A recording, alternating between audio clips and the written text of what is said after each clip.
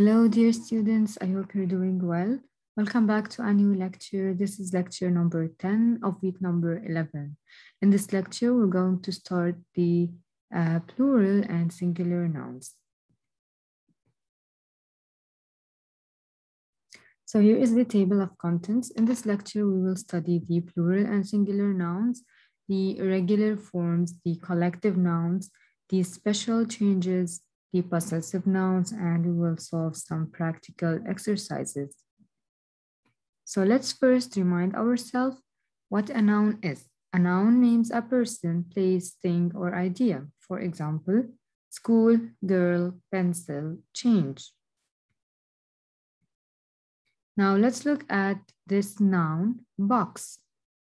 And then you have boxes, tomato, tomatoes, book, books. Now, as you can see in front of you, these three nouns are in the first column made into one group and in the second column they are made into another group. So what title can we give each group? Singular nouns and plural nouns. Box, tomato, book. These are singular nouns. Boxes, tomatoes, and books, these are plural nouns. So what is a singular noun and what is a plural noun? The singular noun names one person, place, thing, or idea, for example, plant. However, the plural noun names more than one person, place, thing, or idea. And most plural nouns are formed by adding s or es to a singular noun. For example, plants.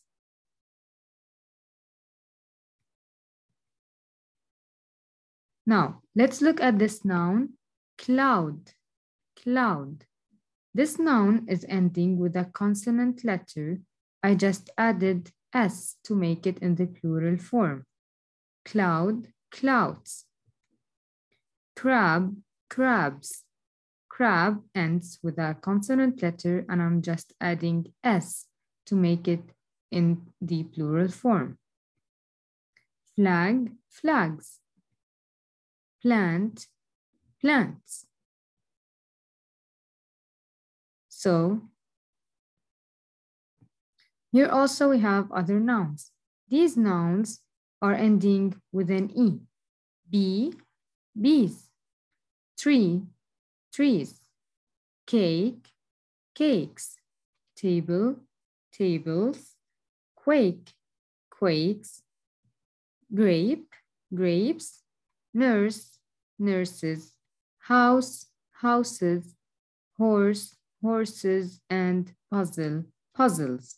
So as you can see, these nouns are all ending with an E, and we are also just adding an S to change them from the singular form to the plural form. So what's the rule? If a noun ends with an E, we only add S, and if it also ends in a consonant letter, we only add S, like change, changes, password, passwords. Again, if a noun is only ending with a consonant letter or an E, I just add an S.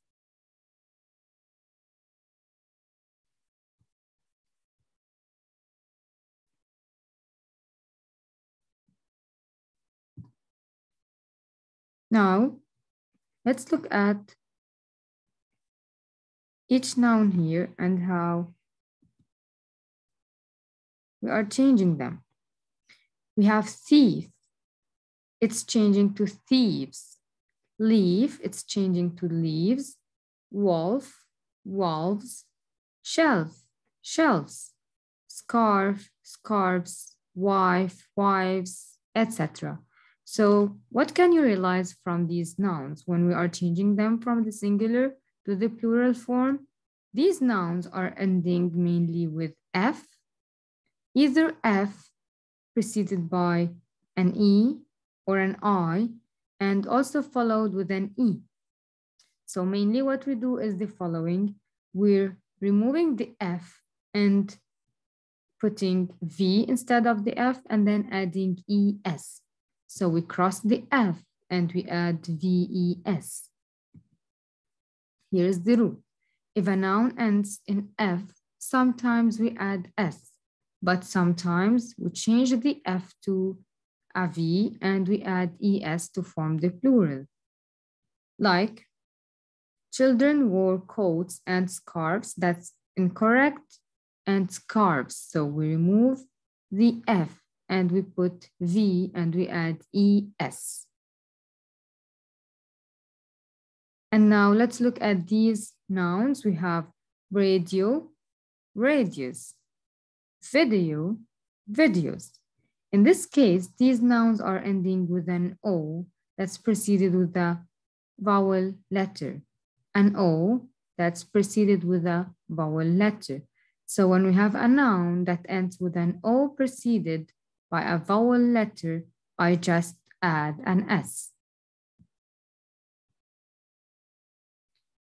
The rule is if a noun ends in a vowel that's followed by O, I just add S to the form or to form the plural, like radio, radios.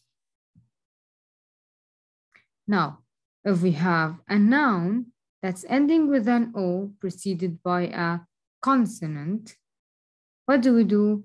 We're adding ES, like tomato, tomatoes, potato, potatoes, volcano, volcanoes. To change it from the singular form to the plural form. You can see in front of you one tomato group of tomatoes, one potato group of potatoes, and one volcano or more than one volcanoes.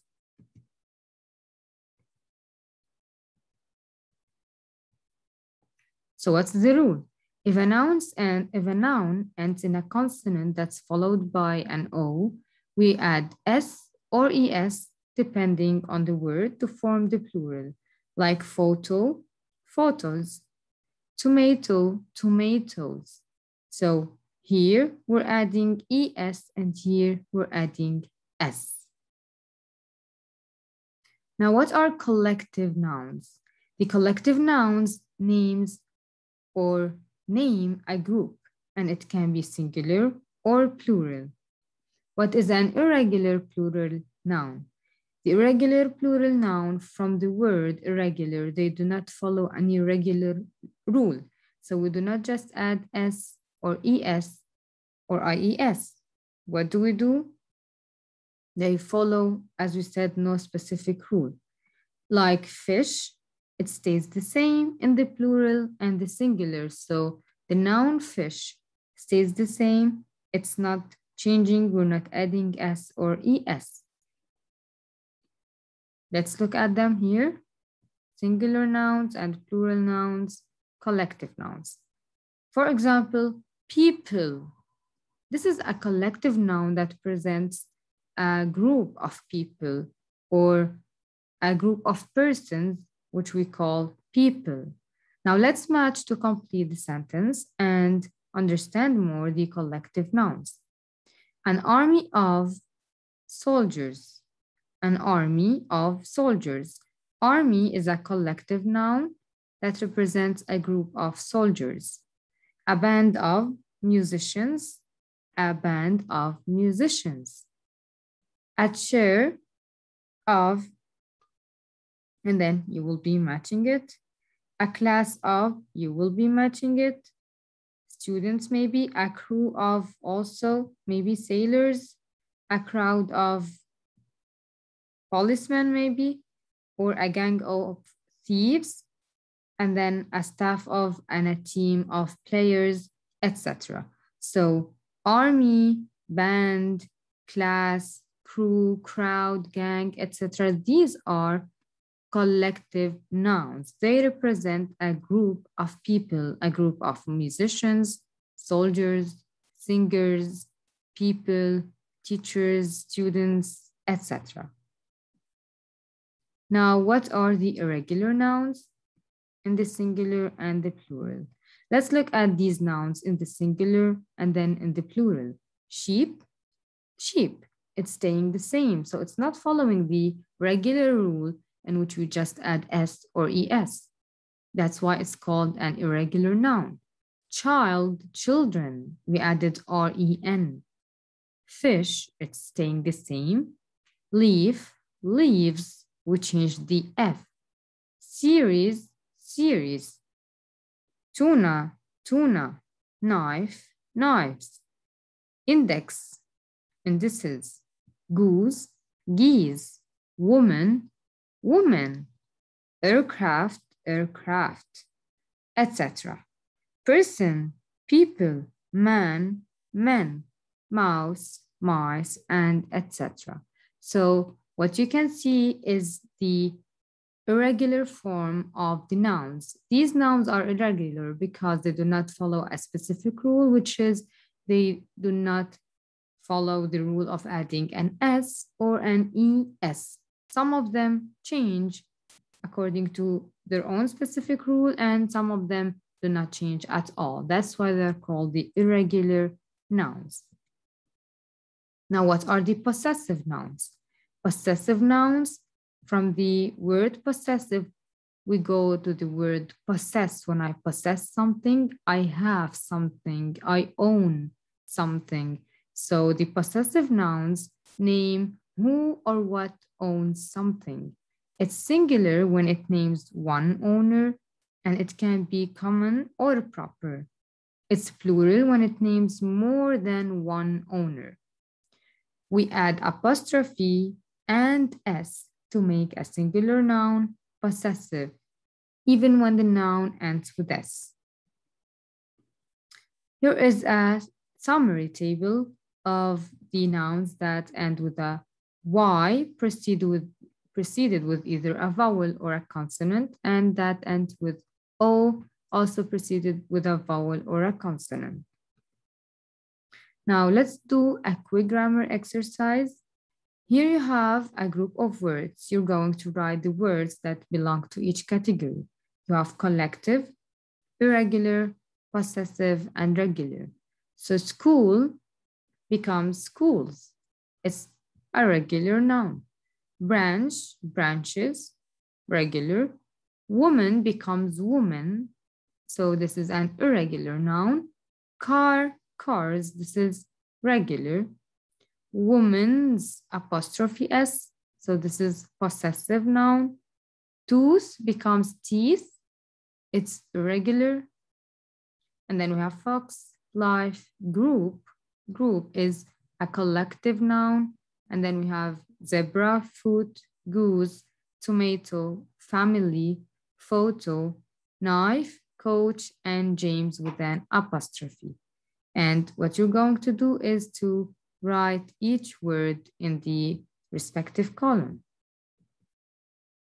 And here I added for you a fun game. It's a game in which you have to cross the letters to make a word, and that word should be a plural form of the noun, and then you have to find the word and fill it here in the correct sentence. Now you have a homework. Uh, the homework is to solve part B in page 31, part B in page 32, and part B in page 36 and page 42, and they are all short questions. They are in your grammar practice book, which is Grammar Practice Reproducibles. I hope that everything was clear and have a nice day.